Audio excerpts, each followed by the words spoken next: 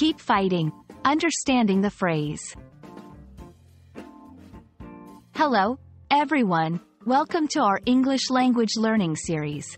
Today, we're going to explore a very popular English phrase, keep fighting. This phrase is often used in various contexts, and understanding its meaning can really help you in both speaking and comprehending English more effectively. Let's dive in. Firstly, let's look at the literal meaning.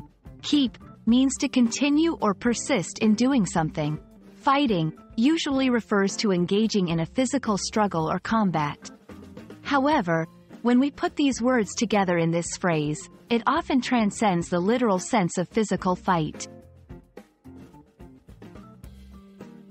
In a figurative sense, keep fighting is used as a form of encouragement. It means to continue to struggle or strive against challenges or difficulties. This phrase is often used to motivate someone to not give up in the face of adversity. In sports, coaches may say this to encourage players to not lose hope during a tough game.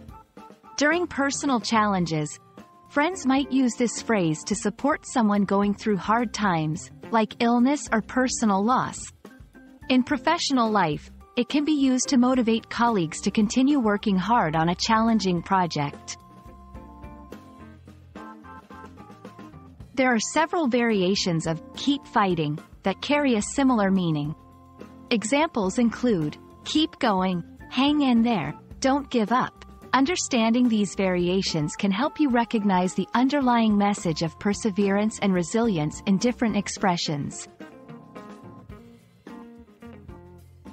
Keep fighting is a powerful phrase that embodies the spirit of resilience and determination. It's a wonderful example of how language can be used to uplift and encourage. We hope this video has helped you understand and appreciate this phrase more deeply.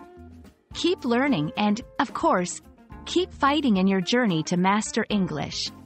See you in our next video.